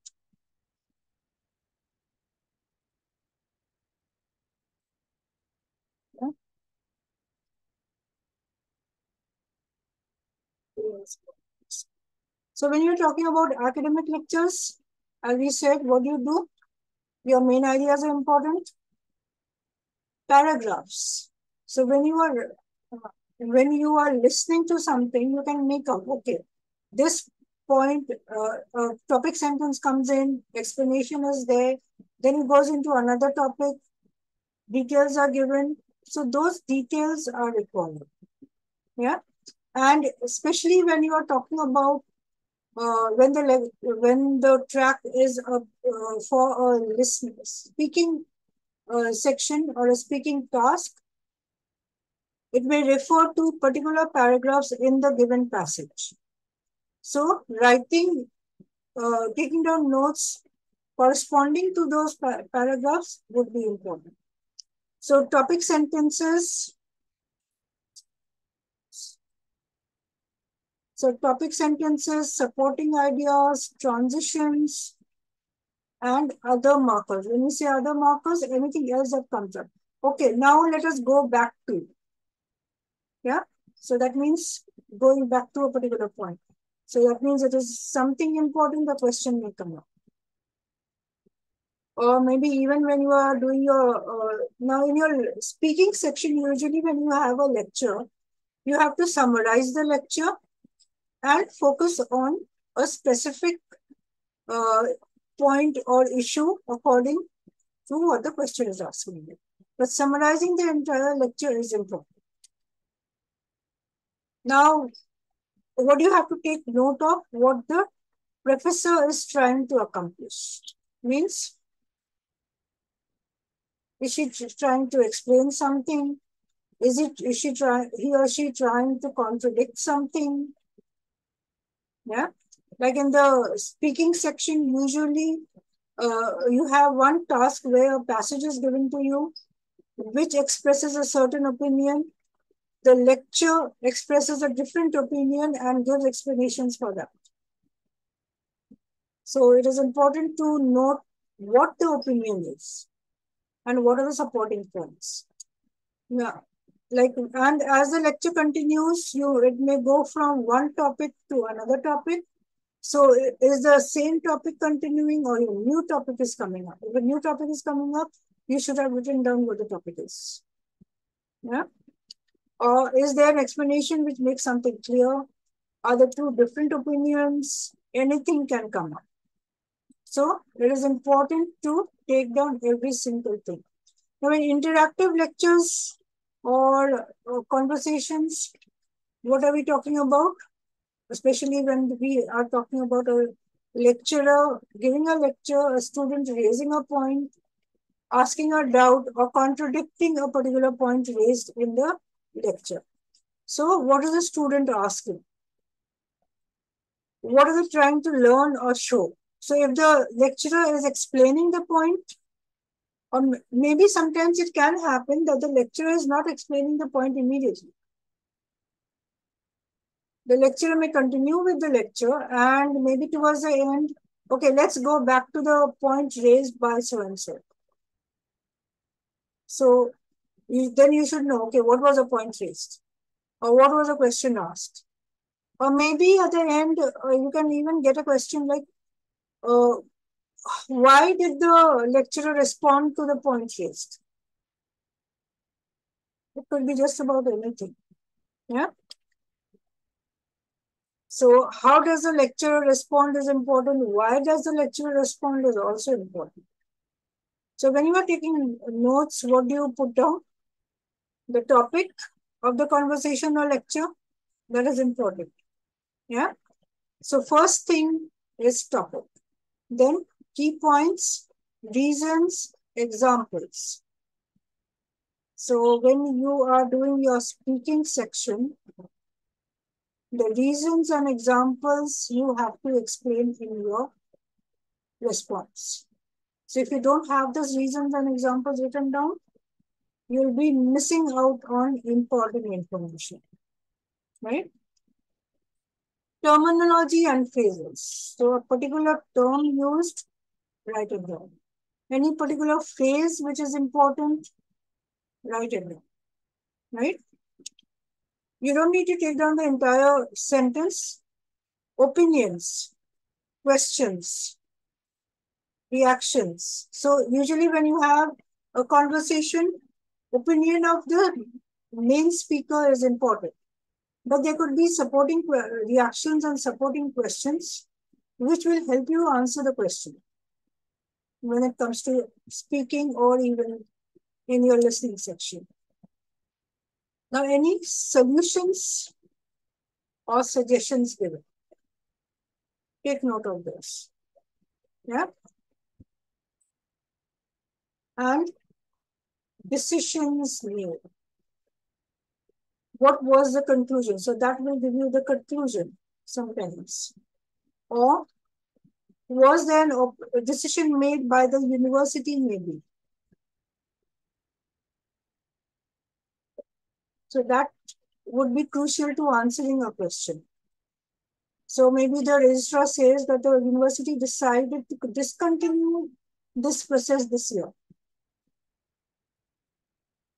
And then you go on that, it may go on that the student said that, but I already took this particular assignment but then he's not going to get credits for that. Yeah? So all these would be very important. So when you're talking about writing your notes, don't write haphazardly. Follow the organization of the lecture. That will help you answer the questions properly. Ideas related to relationships within the lecture, that is what is the relationship between the so analogies, uh, the relationship doesn't mean always human relationship, relationship between ideas. Whether an idea is supporting the previous idea or it is contrasting the previous idea. Whether there is a change in, uh, say, format, all those things are important. So the expressions, as we said, the tone, the vocabulary, type of information, everything would be important. And of course, phrases that show okay, the okay, when how do we know it is an opinion? Phrases such as I think, appears that, it is thought that. When you use this, when you express your opinion. I agree or disagree. Now, when you have a lecture and it says, but there is a, another hypothesis about, in the beginning, it began with theory. Now, you should know the theory and hypothesis. It's the same thing. Yeah, that much of course everyone knows. Interference. So now any words like therefore or then means something more coming up. Additionally, so as I said, all the transition words are important. Negatives. What do negatives give, give us? It's very important to take note of negatives. Not word, not, or words that begin with un, non, this, or oh. Please turn the words into negative words. So all the negative words are very important. Right? There could be fillers. So you can ignore the fillers or you can take it as expressing doubt sometimes. Sometimes when somebody expresses doubt or is not sure about something, they would be they would be using these type of uh, um usually we come across those. Identifying digression means moving away from the main topic. So uh, a lecturer is discussing a particular topic. Suddenly, the lecturer uh, moves on to another topic and then comes back to the main topic. So maybe you get a question on that digression also. Yeah. Now you were talking about transitions. When we talk about reasons, you come across with words like because, since, results, as a result of, so, therefore, thus, consequently. Yeah. Examples, for example, such as, that's simple to know. Hmm? Comparisons or analogies in contrast, more than, stronger than, right? So when you come across the, uh, the words than or in contrast to, you know, comparisons are being given. Opposing idea. On the other hand, we find that some wildlife is diminishing in the rainforests. Yeah, so contrast to the previous idea. However, we'll set up a contrast to the previous idea. So here also you will be connecting the two ideas to all these. Uh, what do uh, transition words do? They set up a connection between the ideas. Yeah. Now, when you have one main idea is being discussed or one point is being discussed, it goes on to a second point. So what do you get? Furthermore, moreover, or besides, furthermore means continuation of the same point. Moreover, an additional point has been given. Besides, it may be an additional point or a contrasting point. When you have a similar idea coming up, similarly or likewise, so you can use symbols to indicate these in your write in your notes. You don't need to write similarly. You can just use a symbol. Right? If you go, into contrast, you can use a symbol, whatever you feel like. Now, those symbols need not be things that are always used. It could be something that you make up. As long as you remember what it meant. Right? So like if you talk about increasing, decreasing, more than, less than, then you need not write words. Now, if there are restatements of information, you'll get in other words. That is. Hmm? So this, these are important not only in your listening, even in your reading, you have seen that all these transition words are very important to figure out what the author is trying to say. Of course, when you talk about conclusions, you know what transition words, eh, when you say in summary, that is also a conclusion. Hmm? In the end, I conclude by All these will be conclusion. Now, what some things you have to keep be very alert about. Phrases or words that are repeated or even paraphrased. Like in the reading, remember, we have words which are used in the passage, but different words are used in the question. Similarly, here, some words may be used in one part of the passage or the lecture, and a different word can be used when, especially when information is being repeated. The same words are usually not repeated. So a particular information is given. It goes on to add an information. So different words can be used. So you have to know what is being said. Now, if some something is said louder and clearer, what does it indicate? The lecturer or the speaker is stressing on that. Right? Now, pauses. These are also important. So when you are talking, to, when you are listening to a lecture or listening to a talk, when a pause comes in, what does it indicate? Either something more important is coming up or there's going to be a change in topic. Usually, right? And another thing in the listening section is there will be some visual materials like blackboards with words or phrases or some technical words written. Maybe it is the, it uh, you could have a blackboard written biology in the beginning. So that means and another thing is that instructions will be given to you. Now listen to a lecture in a psychology class. Or now listen to a lecture in a business class. So that will give you an idea, okay, what you can tune your brain to listening to a particular lecture. Now you know that, okay, this is what it is going to talk about.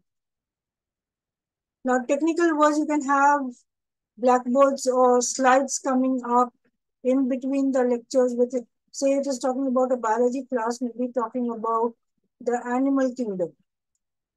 Yeah. Or again, maybe it is talking about mammals. So different words come in, which gives you the clue that, okay, these are the keywords. This part, part of the lecture is talking about this. They can also give you headings or divisions now, within the lecture, the dates, times, purpose, even excuses and conversations are important to know. Right? So those will be some important information. And sometimes they also can give you graphics or illustrations to support something in a lecture. So maybe the in a business class, the lecturer is talking about, say, uh, demand for a particular um, make of car has gone up because of its performance. So there could be a graph to show that, okay, it was, say, in uh, uh, 2010, there, there were 100 cars sold. So you have a graph coming up and in or maybe a histogram coming up. And in 2023, there are about 150 cars sold. So that gives you a visual effect and you can take note of that. Okay.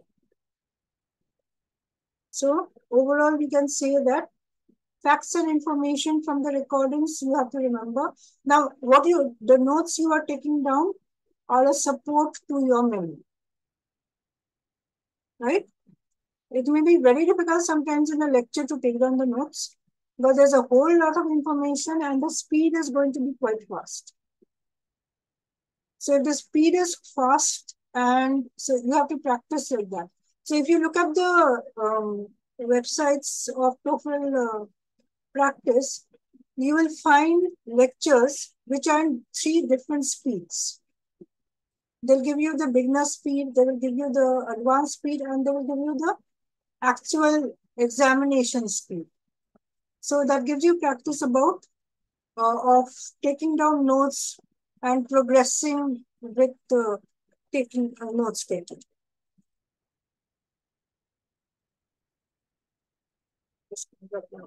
So these are the type of blackboards that come up. Yeah, so maybe blue or blue or something. So this I already told you earlier. Abbreviations, symbols, capital letters. Now anything written with capital letters, you must, you, according to you, it may be something important. Or it may be a name or a particular phrase which is important can be uh, written with capital letters. So you have to take down your notes fast enough, concise. Do not write sentences. Never ever. The moment you start writing the sentences, you're gone. Then at the end of the lecture, you will say that I couldn't take down notes. Yeah. In the beginning, it will be a little difficult. You may tend to miss out on a lot of points, but as you practice, you will get it.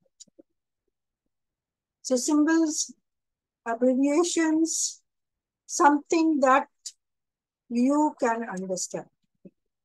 Yeah. And we'll come to the format also. So when you're talking about speak two speakers in a conversation, it is always good to you know in an examination, you know what the question is going to come up. Yeah. They will say, now listen to a conversation between a student and a registrar. Immediately, what do you do? Make a column. Yeah. So now you know it is a student and the registrar. And yes, these, when we were talking about particular names, that is important. Is it a registrar? Is it a clerk? Is it the, say, the coordinator? Who, so they may ask you, who is the student talking to? So if you missed out who it was, you can't answer the question. Yeah.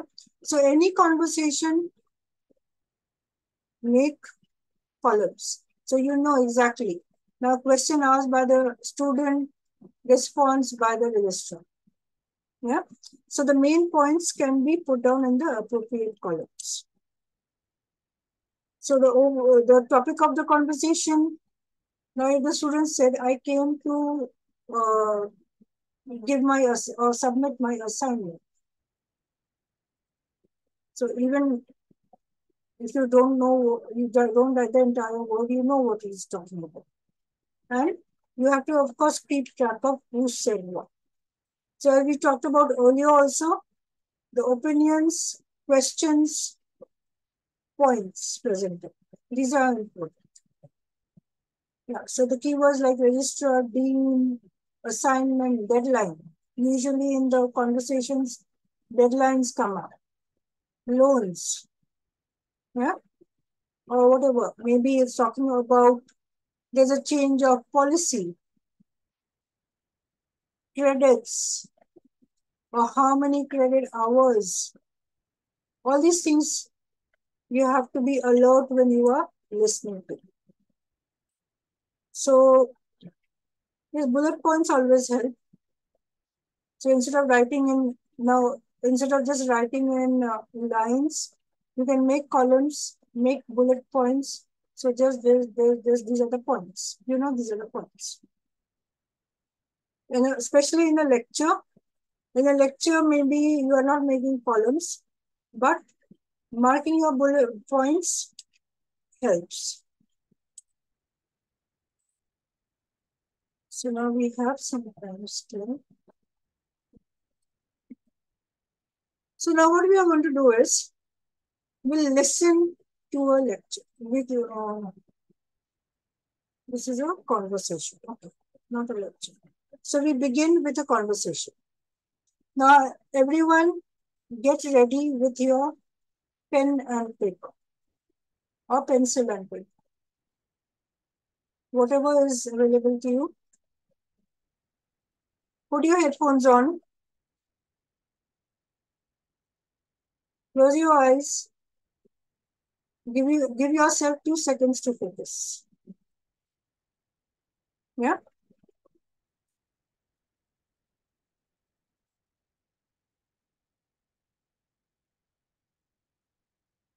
It?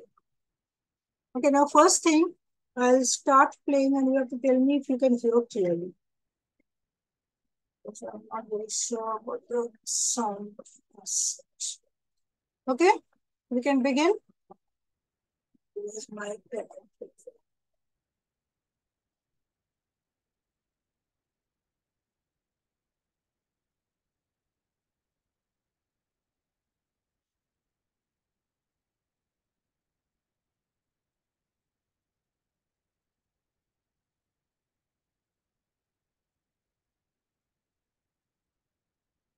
And make sure if you have a pencil, you have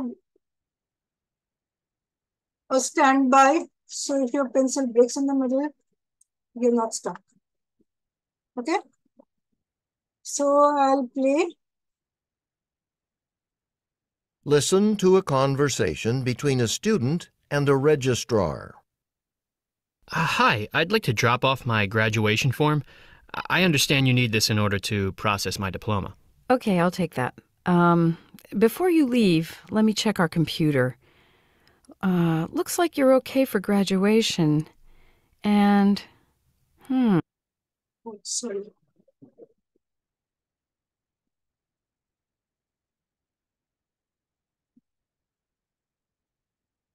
Listen to a conversation between a student and a registrar.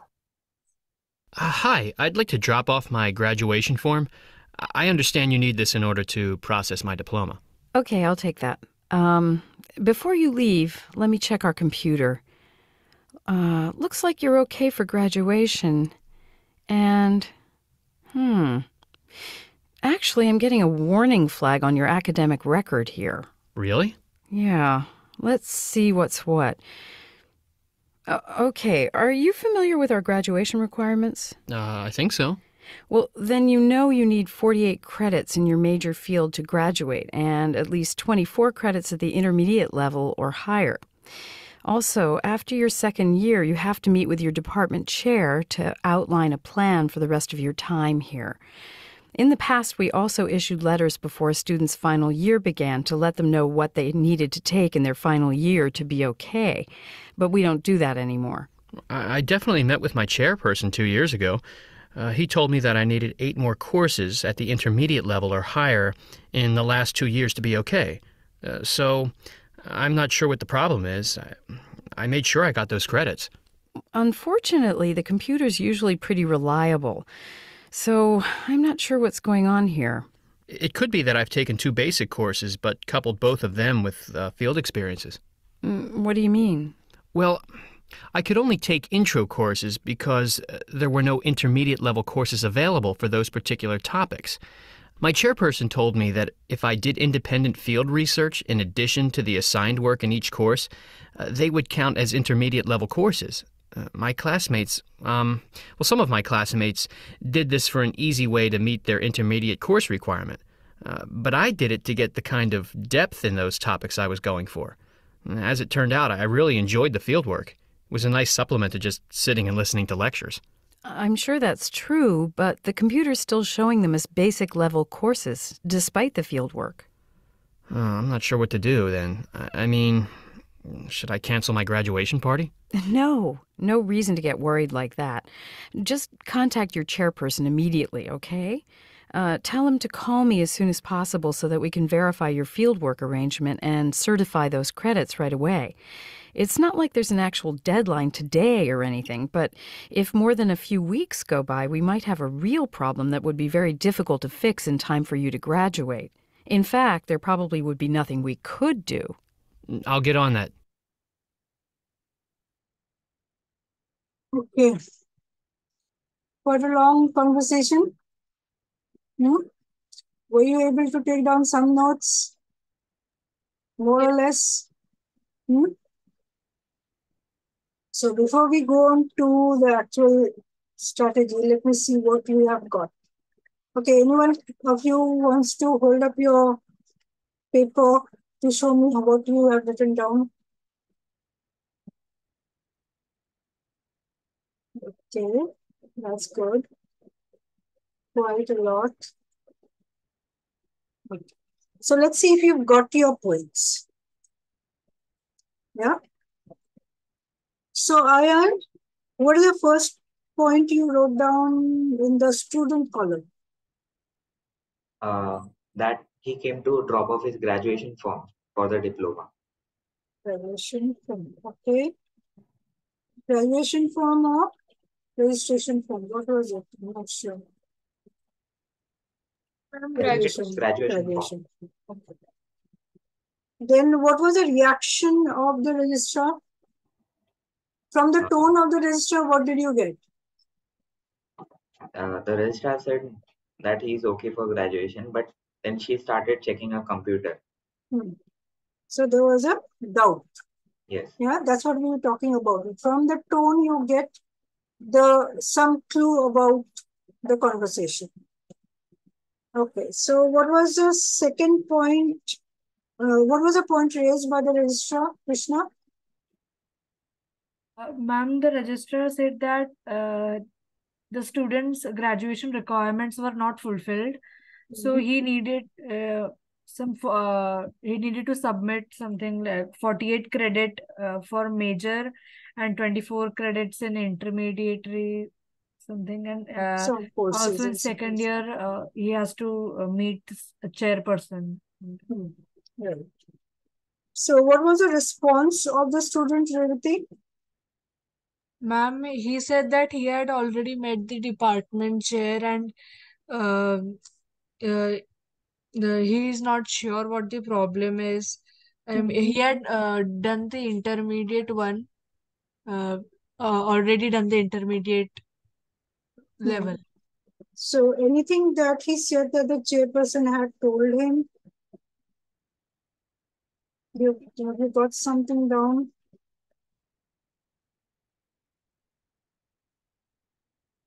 Krishna, have you got something down on that? How many courses or how many credits, something? Eight or more intermediate or higher level courses. Yeah, that was that. So, Kesar, can you tell me what was the response of the registrar? What, anything that you have written down? Even if it is just one word, give me that one word. Um, uh, she said uh, that computers are reliable and in two years outline a may issue, show issue in that letter. I have written like that. Hmm. So issue. So Issue can you recall what it is about? Uh, it is about the credits. Mhm. Any further information on that? Earlier, they issued credit letters, something of that sort was there. Yes, ma'am, they issued letters and later they now they do not require it. not, not anymore, something of that sort. Yeah. Okay. So next, what did you write? Who's going to tell me? Ma'am, the computer only showed the mm-hmm. basic requirement that the student had fulfilled, not the intermediate one. Right. Ma'am, also that uh, he did some field research uh, uh, along with the assignment. Like his uh, few of his uh, classmates also did that. Uh, Mhm. he actually enjoyed that that and took it as a supplement and that's Hmm. So, Arushi, what have you written about that?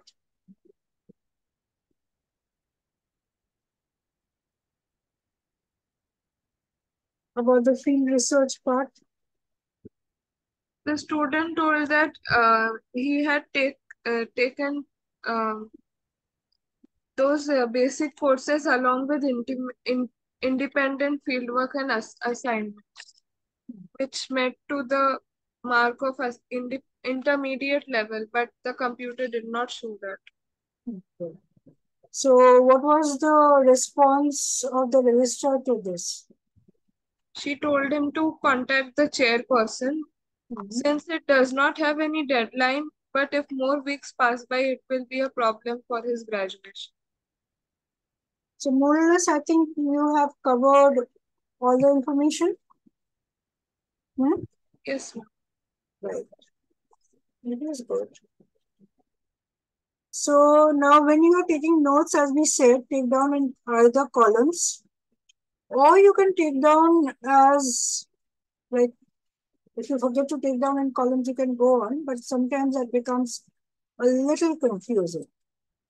So this is the two ways. So when you're talking about the speaker and the female speaker or the male speaker and registrar, file graduation, get diploma, problem, uh, need certain classes, meet the chair, uh, make the chair, what the chair say, that thing, if you kept taking it down. Uh, did different classes, field work, and must contact chair, explain, and he can fix the problem. Yeah. So you all got more than this in your notes.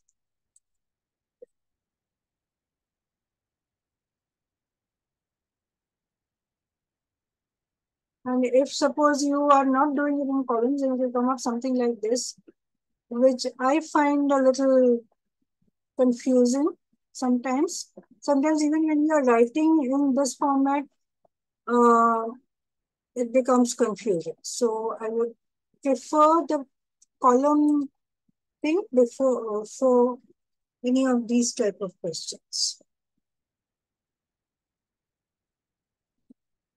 So now what we'll do is, I think our time is already up.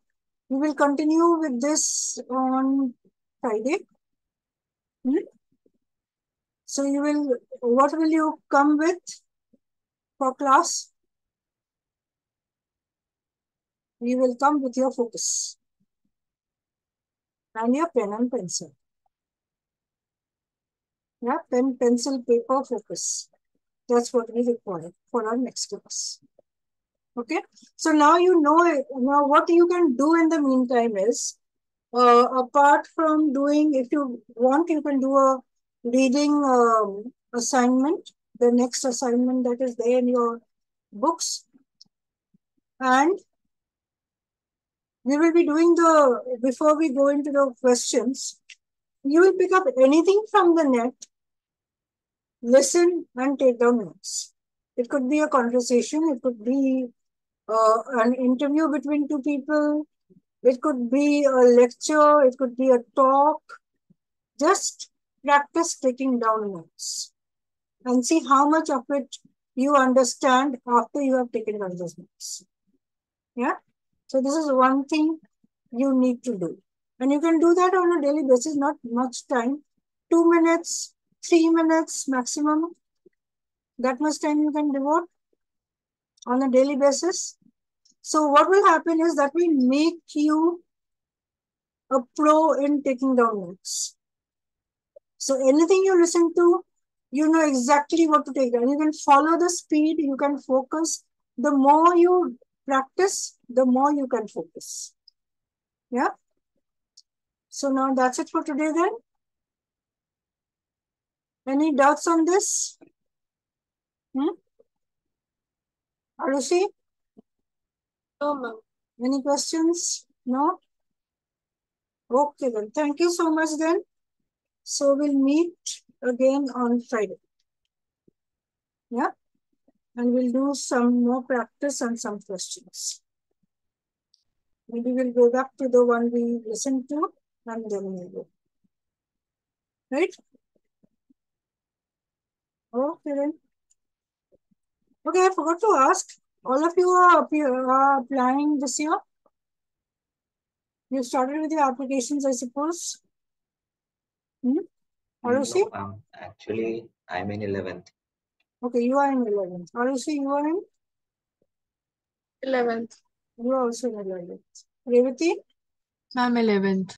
Okay, so you are also. Kesar?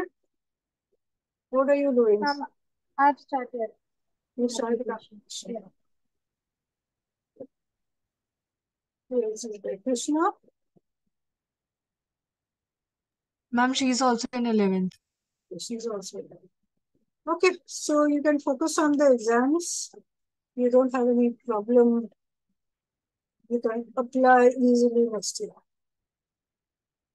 Okay then, thank you and good night. Thank you. Thank you, ma'am. Welcome. Thank you, ma'am.